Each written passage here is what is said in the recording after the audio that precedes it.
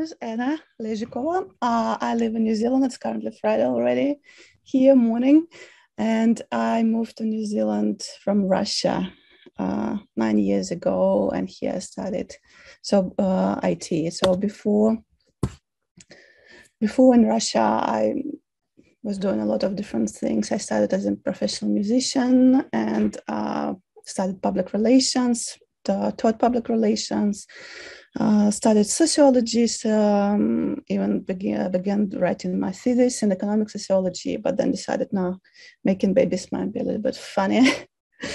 so uh, worked in communications, had my com- agencies, uh, worked in project management and constructions and management, all of it. But after I moved to New Zealand, uh, it was um, trying to survive just given music lessons at the beginning. And then when my younger kids started school, uh, I studied IT here. And then it was a very um, fast career from front end full stack, studied machine learning and artificial intelligence in the Victoria University of Wellington. Uh, it was a lot of mobile.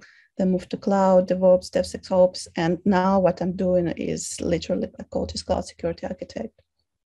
Uh, and uh, being exposed to all this different stuff um, helps me to just be not a um, usual developer engineer you have, but also bring uh, my um, business and um, academic uh, and sociology background. So currently I work in Cogo. It's an impact-led fintech whose carbon tracking API and consumer app enables users and businesses worldwide to measure, reduce, and compensate for their impact on people and planet. Uh, thanks our marketing team to provide, me with this data and why it is important to know for you that uh, we are uh, growing so fast, hiring, uh, expanding products, expanding time zones, countries, all of it, and work with uh, a lot of banks and uh, other financial corporations. It means that this start, this company who started as a startup and didn't even think about having a security person now uh, considering it very seriously, and uh, I'm very happy to work in there because it's such a greenfield and uh, a lot of opportunities to start it right, uh, not to deal with legacy. But this is from technology point of view. Uh, and, and what this talk is about is about people. So people are not so easy to change and you can't start from scratch with them. So that's what we be talking about here. So, uh, sorry, what we've got here. Uh, people from the company point of view it's not only engineers it's all employees. And uh, for employees uh, what i find lacking is uh, fear. And fear is of just because not knowing not being attacked uh, if you didn't work in the uh, company that uh, was under ransom attack or was not affected directly or even if you worked in this company it was so huge that it just was not affected directly then all of these scary stories are just news. And like one example, when we were uh, uh, walking in a shared space at the beginning, when we didn't have our office in Cogo, um, we, we, we, walked in co-working space, and one um, day I just stayed longer, and there was a computer left on the desk from one of the employees, and uh, it was open. Uh, there was a screen saver, and I was like, "Oh, must have been locked. And I touched it, touch screen, it was not locked because she thought that she had a lock, but the uh, screensaver lock was set up for five hours or six hours, something like this. And it's a co-working space. Anyone can walk in, walk out of this. Yeah, this type of things. On the other hand, we've got developers who often, especially expert ones, senior ones, that are so overconfident that they know that sometimes they just sometimes uh, have to ask you, please prove me how it can be hacked. Then I will believe you that we will need to secure it. If I don't know how it can be hacked, can be. Uh, this is not true at all, right? So um, we know about these problems and open computers, um, shared passwords. Um, we try to train. There's a lot of education. I worked in a bank and we regularly had these um, courses that you had to um, complete with the multiple questions and them that you had to get right correct and uh, then you've got this check um, past it uh, this just it's there's no use at all i mean like how you can even relate it what you just read on the slides to what you're doing day-to-day job. Just like yeah it's good for compliance we know that now take employees for training but no practical usage in there. But uh, for security training and other stuff and we got a lot of courses like this and then people just like find them as obstacle courses that they just have to do and just forget about it uh, later we've got some improvements in there they now look more fun they've got some interactions some maybe fun animations but still same obstacle course that just people uh, go through and forget uh, that's what, uh, that's when people started to talk about like mindset. It's not only about security. I'm sure you've heard of growth mindset, of different mindset. That mindset we need if you want to change it, attitude to something, you need to change mindset. So what is mindset?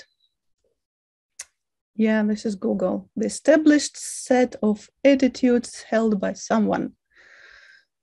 There's some pictures in here this is a very by the way if you're uh, like uh, interested this is a nice blog post that explains a lot of uh, what this about and how it can be approached it's the nature of mindsets by ash Buchanan, Buchanan.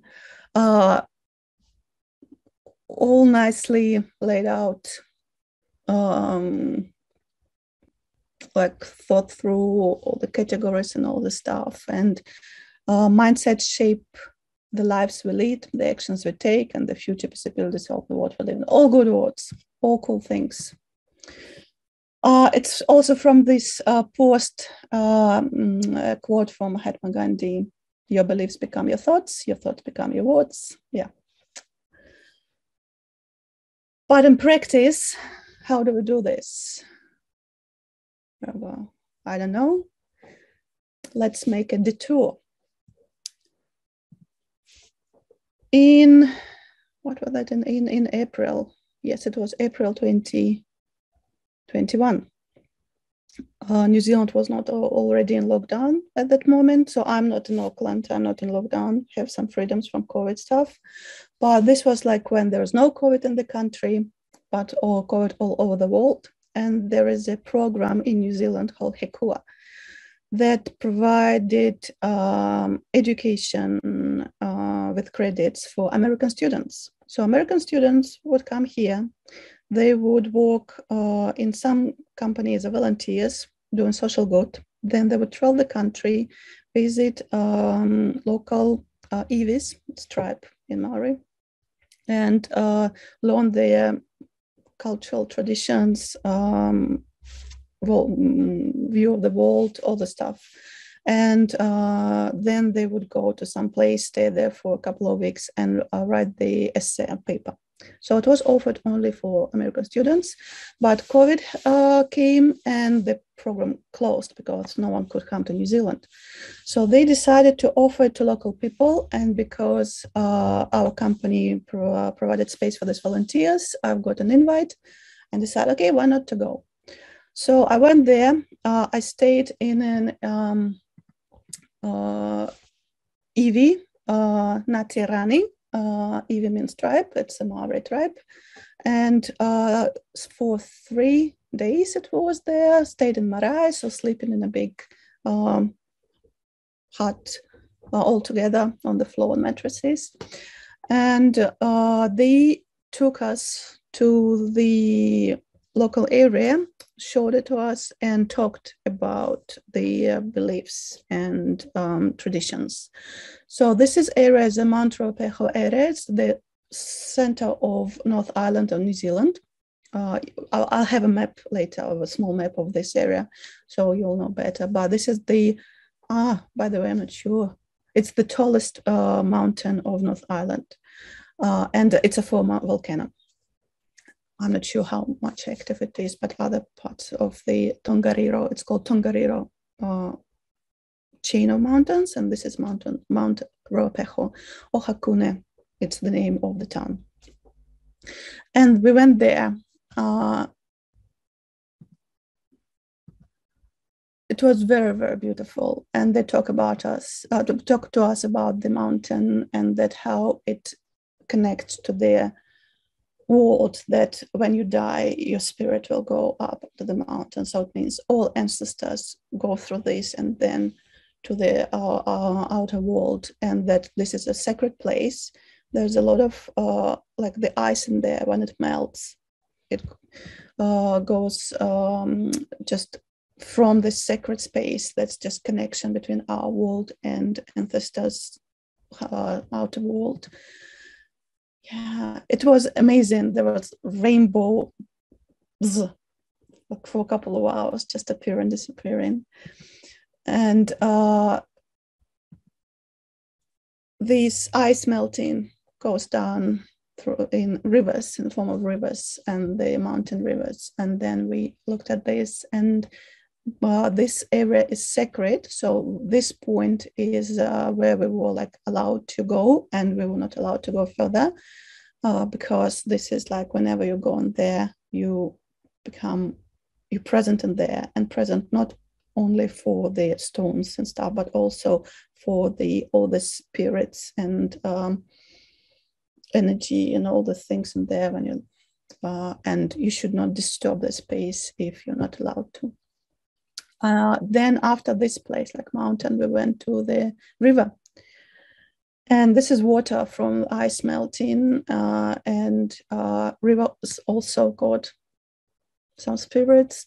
You can talk to them, you can pet them. So let's try, you're next to the river, try to uh, just touch it like you're um, petting a um, dog or cat, something like this, and you, will feel it. It's very interesting feeling. And uh, this water, not only uh, life from the like um, biology point of view, like environment point of view, but also life continues from spiritual point of view. Then we went to the forest, and these rivers they feed all of this life. This water is everywhere, and uh, yeah, this is New Zealand forest, my favorite place on the planet. Uh, when we're open, please come and visit. When we're open. Uh, and all this is fed, and again, not just water, but also spirit, and means that we are also 90 something percent of water. And this water is not, not only molecules, it's full of all other stuff in there. So that's how they see the world in holistic view that everything is uh, part of everything else. And it's not just it's not just parts it's a one big thing interconnected. And uh, this is a very very life-changing experience just to feel how to how i see the world how i feel myself in the world. Uh, and then they showed us uh, a place and told us a story so this is Treaty of Waitangi when uh, Crown bought the lands from Maori and uh, started doing things on it because like Crown thought now we own the land, we can do things. And in uh, 20th century, uh, I'm uh, it's like I'm not sure exactly what was the year, but 70s. The, the project started in 50s. It was called Big Think Project, and um, this exact project was started i'm not sure 70s or 80s something like this like 50 years ago almost 50 years ago. And this is the uh, you can't see my cursor right on the screen? Dagmar? Yes we can see your screen. Oh, awesome. Okay. No i mean like the cursor my mouse cursor. Yes yes Awesome. So this is Mount Ruapehu we're talking about. This is Tongariro mountain, and this is Mount Tongariro, and this Mount Ngauruhoe. Ngauruhoe, it's the famous, you if you watched Lord of the Rings, you've seen it. This is Mordor, this mountain. so this is what's in the movie. And uh, this is our rivers, and the river I showed you is uh, I think this one, not sure, but one of this one, this one.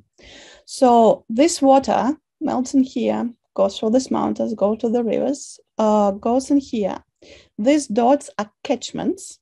I'll have a not a very good but still picture of it. So where water goes into from the river into the um, tunnel, and there are 21 or 24 of them, something like this. And then uh, all this water uh, from the catchments go into this um, aqueduct.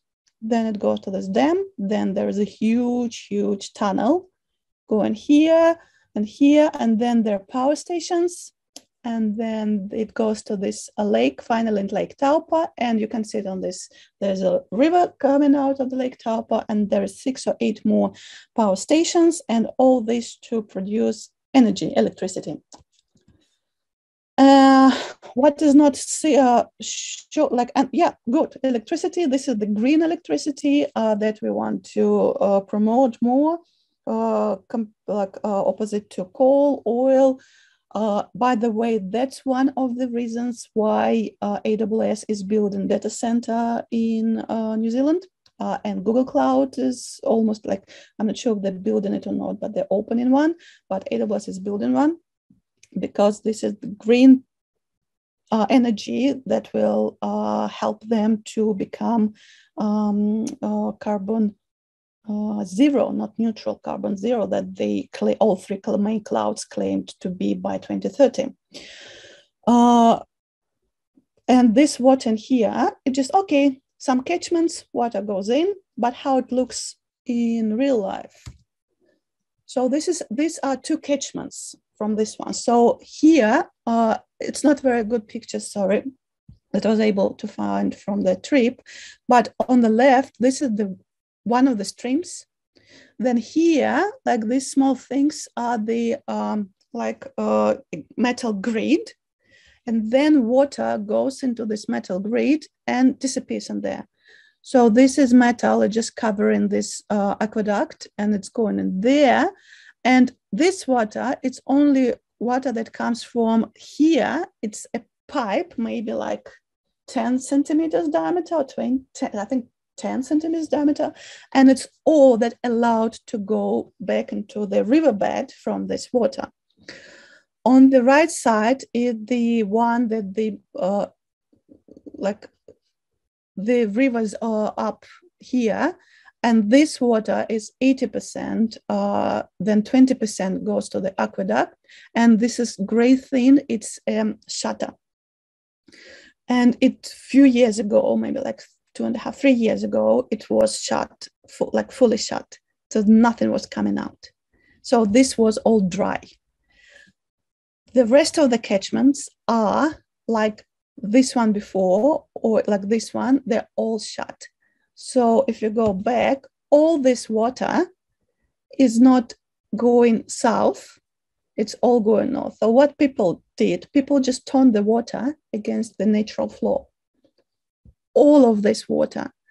It means that there is no life uh, moving through this um, highway, like water highway for life, not not species like uh, fish or any other like uh, this type of things. No seeds, nothing. So this is dry, dead um, riverbeds.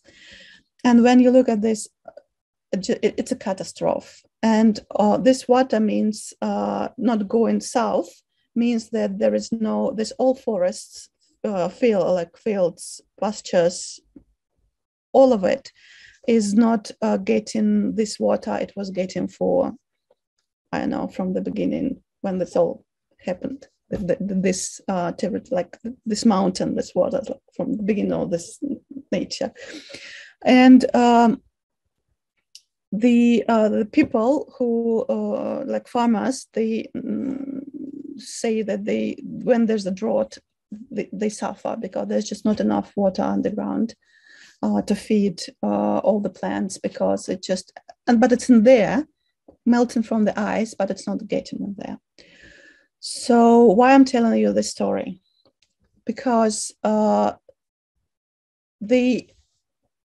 when the in 90s i think it was it was 2000s uh, Crown decided to give back uh, some of the land to Mara iwis. So now iwi own this water, so uh, um, land.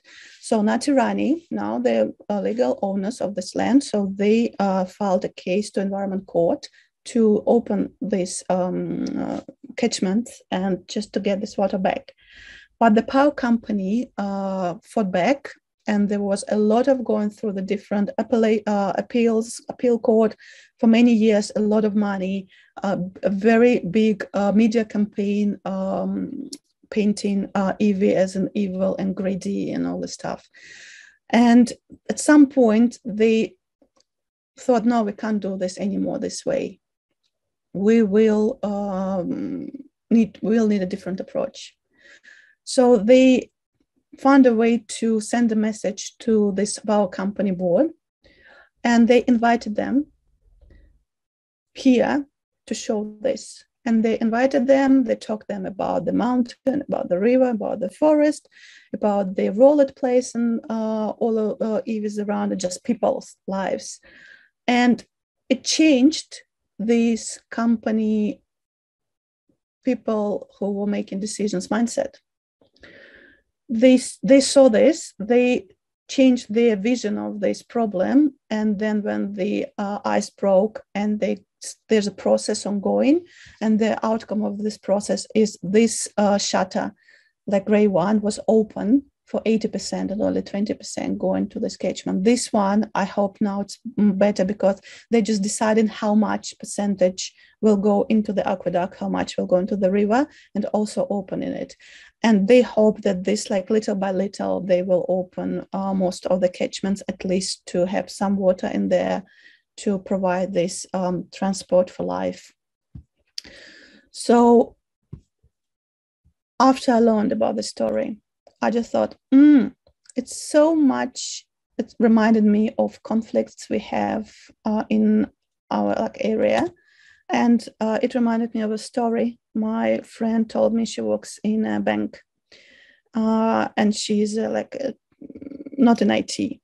She uses uh, Office 365, and she told me a story. Oh, the security people, they're so evil. I created a workflow in Office 365, and uh, I really need it because it helps me to uh, just automate my jobs. And it's very simple workflow, but I can't use it because uh, I'm not allowed just to use it. I need an approval, I need a test or something. I understand what I need. They came back to me, they're not answering messages. It's been two months already. This is terrible. Security is terrible. It's a simple thing I need to do why they're not. You've been you've all been through these talks. I'm sure you've heard it and when I heard this, I thought, but it's what we like, it's the same problem. There is a conflict uh, because people are just in different worlds, they've got different like mindsets. And uh, how do we like um, what this iwi used in this situation, this conflict that helped them to uh, get out of the stale situation and create some progress, not just to change everything in one day. And again, what I'm going to talk here, it's not a silver bullet. It's really just the one catchment at a time. Uh, and I talked to the iwi chief, and then I talked to people around it, and uh, just uh, other Mara people. Just started ask, asking them questions about like this vision conflict solving and changing people mindsets. And then I came up with um, three ideas. It's not just a full list that can be done, but for me it was easier to grasp the three to start to implement them, to use them. And they were, oh, sorry, Kaiako, uh, storytelling, and map is not a territory. Uh, and we just like walk through them one by one and see how uh, what that means and what uh, how they can be applied. Kaiako, who? Uh, kaiako means if you look at the dictionary, it will just tell you teacher, but it's not correct translation. Kai means food, and it can be just not like what you eat, but any feed uh, and ako means teaching, uh, uh, knowledge, and then here it's the proper translation to English would be knowledge feeder. But uh, it's knowledge feeder. It's not the same as teacher. We used to this uh, classical teaching setup when there is an expert and authority that tells you some truth that tell you something you need to you just from the start you have to believe it uh, accept it learn it and then you'll be tested for it. Uh, and it comes from like everywhere. Everything every teaching right now is one way. So there is a source of knowledge that if you decide to learn it you accepted that it's source of truth and something you just need to learn. Luckily, this changing in modern education system, my kids are 11 and 15 years old they, when they go to New Zealand school, and New Zealand school is very, very changing. And uh, I think Maori culture and this kaiako uh, uh, ideas also uh, influence uh, it. And the idea is that the teacher is not someone who tells you the truth. Teacher is a person like Kaiako, the person who gives you some knowledge, feed you like food for thought, and you absorb it and um, learn by just this is just a feed. It doesn't have to be like true. It's something. It's just food, and then you need to digest it. You need to grow it. You need to make something from it. But most important aspect of Kaiako is it's a two-way process. The person who is teaching is learning from the person they're teaching at the same time. So there is no teacher and student. They're just two people who feed each other knowledge. You can be in a position of kaiako. Uh, it means that you're not just saying something to someone and test them. It means you provide them food and then you get this food from them. So always constant feedback loop. So how it can be used uh, in security. Uh, this is the very nice uh, um, picture found at Auth0 website. And uh, this is like classical stuff, but on the left, like shift and left paradigm is that get security uh, before everything is deployed and now we just push it to pen testing even internal testing security testing or whatever and this is nice words. Secure coding practices threat modeling uh, um, all these like threat modeling workshops programs education.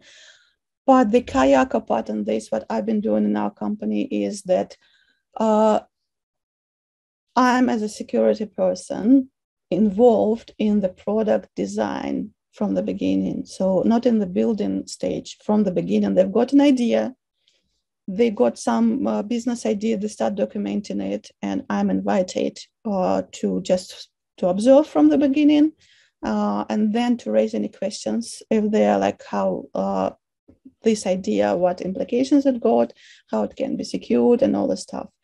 Then when they are the building stage, uh, I uh, like there's a team that working on this product. They just started building it. I'm there at every stand up. I'm there at every uh, pull request, and uh, it means that I can see. Uh, we use only infrastructure as code. Uh, all the templates, cloud formation in AWS. Uh, it means that then when they create resources in the template, I review them if uh, the, they've got policies not using default those policies, are the policies correct or tight enough or all the stuff. And it's done as a code review, not as the out audit at the end. And uh, threat modeling, uh, that's what we are planning just, I think, in a couple of weeks. We're having this um, uh, threat modeling uh, exercises and then uh, what I want to do, uh, we tried it already, but uh, that team was reformed. Now it's a new team. So to embed threat model questions in the story template. And it's not just put it in there, it be there for them to help them to uh, use it properly. On another hand, when I'm there at the stand-ups at retros, uh, at uh, pull requests, code reviews, I hear them. I hear their complaints. I hear how their struggles, and I hear their ideas. Uh, I see how they use um, guardrails or uh, limitations, borders I put for them. And uh, it means that sometimes it's just configured not user friendly. Yes, it's doing a job, but the because they need to uh, so the, the, the how uh, the how much the labor to be able to implement it is so much higher than it reduces the value of the security control. But it still needs to be there. And that's why when i hear what exactly the problem is ah oh, yeah it's because it's not for example you have to enter this key at the session all the time you use it. There is no remember function or something like this. Uh, or number of hours is too short for this environment. You doesn't it doesn't have to be one hour um, session key expiry. It can be 12 hours or eight hours for the uh, working day because it's not production and staging. How do you know about this? How do you hear about this? Uh, just by being there. And that's like i'm there for them to give them knowledge when they need it. And i'm here to learn from them how they use it and what problem they have. So this is this kaiako concept i know you uh, uh, ah, another one is uh, pair programming and uh, and the keywords you can use in there is champions uh, I know that the main question from people will be how do you scale it in a huge organization? You just can't be there.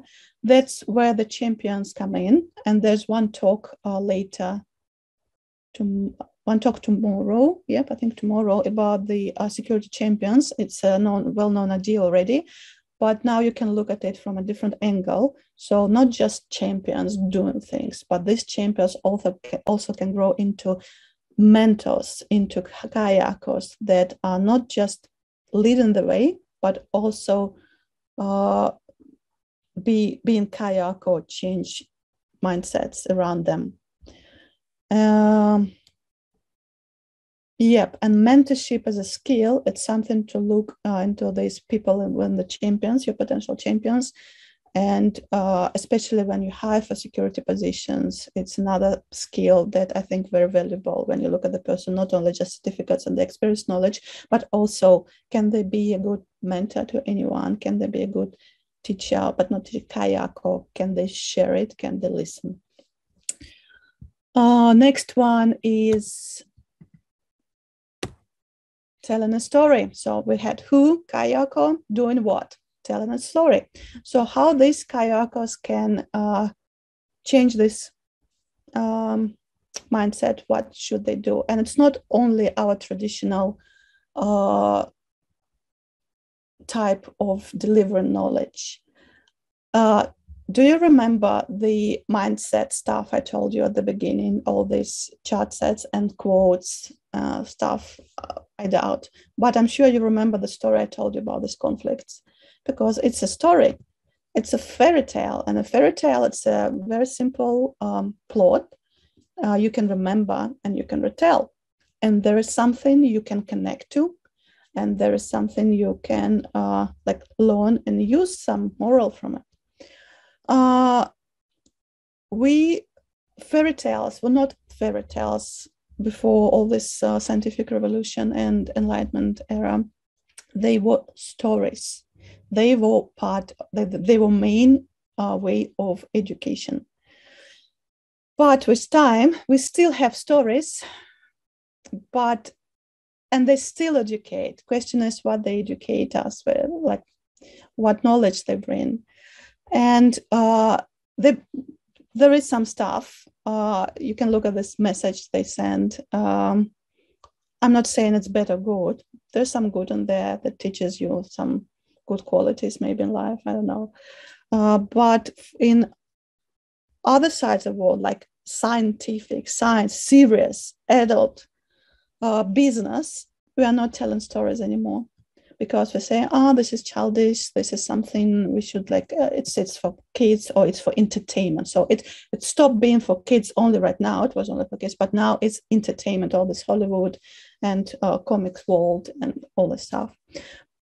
But stories uh, is a very very powerful tool of um, delivering information. And so what I just what I've been doing in this company, I was uh, translating, bringing um, what I read to the space in the company to uh, create this like uh, some context with stories uh, uh, in the company, how it works. For example, I've got a lot of mail list I read every day and like Hacker News. So I love Corey Quinn I hope he will get this message, some reference somewhere. And uh, he, by the way, he started uh, last week in AWS security uh, flavored um, newsletter uh, regularly. And it's very, very useful if you're on AWS, highly recommend. Uh, and uh, I read this news and then I um, just retell them in our Slack channel. In a general channel, if it's just on general security on passwords or something like this for employees, or in our engineering channel, if it's a little bit more techy. And I found out that this, and, and, what's important, I do it regularly. And so I tell these stories, I make this feel like becoming a norm, something that happens regularly, that something that exists.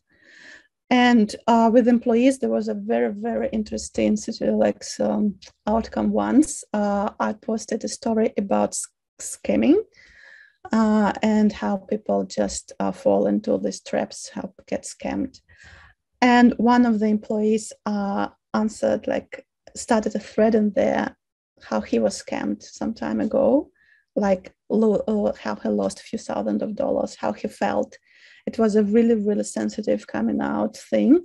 And, uh, but because there was space created to make it um, uh, not something sudden, but uh, appropriate and safe, he was able to share it.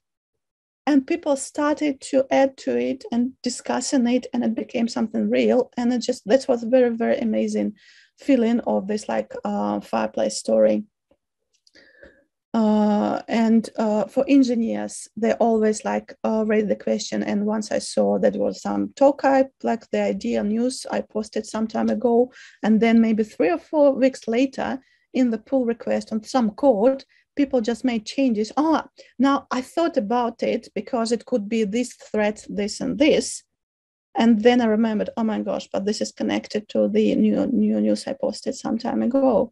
Or another story that um, it's not only news when we go to roundtables, conferences, it's not only schematical slides like this is this, this, this. This is not only teaching, it's also telling stories, sharing experiences and learnings and in such a way that can be retold and reused.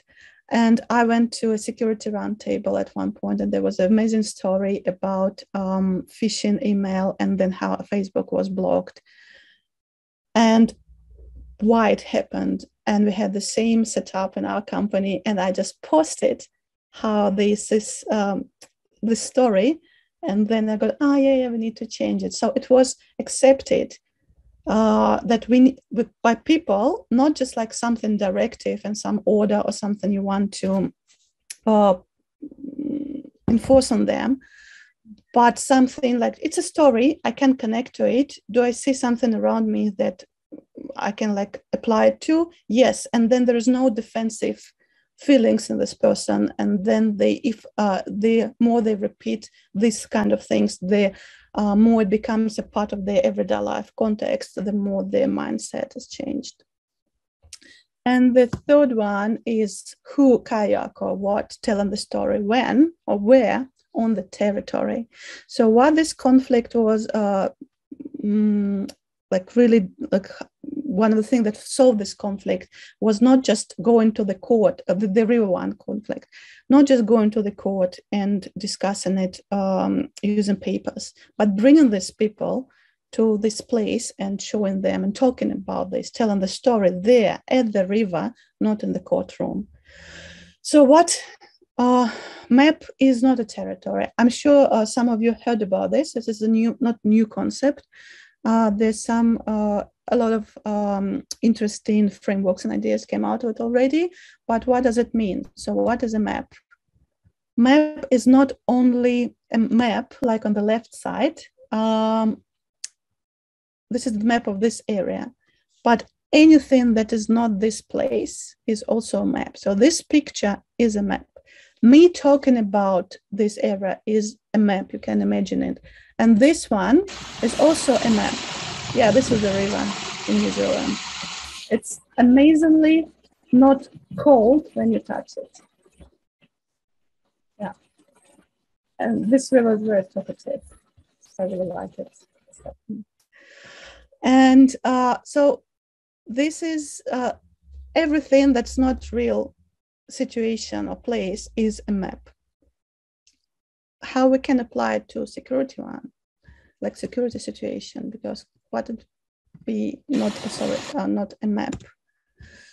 Capture the flag, hackathons, advent of the code, uh, they are all good because they move us like from okay day-to-day job. There's no attacks, there's no problems, there is no uh, um, situations you can like uh, get adrenaline in you so we create the spaces that people can uh, not normal for compared to day-to-day job but something but it's still a map compared to what you produce what you do in at your day-to-day work. Uh, but still good. So this is better than nothing and and good things yeah. But they're still maps. Ranges. It's very aggressive picture. I don't like it, but uh, I couldn't find any peaceful pictures of ranges. yeah, so uh, uh, I went through, I, I tried one of, there was, I don't remember the name, some company that they provide ranges. And ranges, like the security ranges, is not, um, again, not a new concept. The idea is that there's some product environment created it's got vulnerabilities from the beginning and you go in there uh, and your job is just like your task challenge to find all of them to hack it and uh, that's how you learn this uh, hacker mindset uh, the uh, like enemy what mindset to be able to build defenses against it so i took one of these um, thank you OWASP to providing a free um, offer by the way you can find it i think OWASP provides it and as I'm a OWASP member, uh, I, I used this opportunity and for one month we did this. There was a website and we did this um, like hacking and you were getting points for finding all these vulnerabilities. Uh, and it was a totally, uh, it was familiar, but totally not relevant techno- tech stack for me at all, just nothing. And uh, I would say I never used this tech stack in my career because for me it was a little bit outdated. Um, so, um, but anyway, it was amazing how it changed your thinking and then how you start thinking in a breaker way. And I think it's it, you need this willing when you are in a threat modeling mode and uh, really want to think, look at your thing what you're building from the um, breaker point of view. This is cool, but then this was the problem with that it was not relevant uh, to what we are doing. So when you've got your developers and you send them to this range, or you buy this access for, for them to learn, how do you find one that will fit uh, the tech stack they're using right now, the job? Because one, you do this XML attack or something in the um, um, um uh, Apache um, server, but you are in AWS cloud serverless and uh, using React um, um, single page application. Totally different. It's still vulnerable, but with different vulnerabilities. Uh, and then I started to look, oh, there are other ways. So there's things that people that that's their business, they provide it uh, as the as the business. Uh, but what I was maybe I don't uh, I couldn't find it. If you know such a resource, send me Or if you want to build such a thing, I would love to join and do it together. Something kind of Lego thing for cloud. Uh, and for any like for every major cloud uh, you just uh, it's um, templates and you combine these templates uh, to create uh, and with known vulnerabilities. So I've got S3s. Okay, you've got there's a template for three with vulnerabilities. I've got uh, EC2 and VPC. Okay, this is the template how to set up a VPC and EC2 with vulnerabilities. So you just combine this, looking as as close as your product, and then you deploy it in an account and get the developers in and tell them, uh, can you find all of it? So something like this. But again, it's not as close. Like it's closer uh, but also uh, what uh, like uh, I'm doing, I when I see something in our code, like oh I see in the news this was hacked and this is what we use, I always try to point, look at this. This is the same thing that was in the news that we are using it here, or trying to uh, create these connections between uh, vulnerabilities that are reported somewhere on some website with our code and pointing finger to it. Uh, for the employees, it's very cool. You can just like uh, create a few, um, write uh, some code and uh, upload it in a few memory sticks and just throw away in the office and see who will be the first to put it into the machine, right? This kind of fun. Uh, now I need to implement it before they watch this talk, my colleagues. uh, so the again, this is not a silver bullet. This is not like, okay, we will do this now only. This is not discarding all of the things we're doing with traditional education, certification, all the stuff. This is just an extra facet in this multifaceted thing that I hope now we'll be able to use and see things with extra filter, extra layer. And uh, to use this uh, who, uh, what, when, like kaiako telling story, on the territory.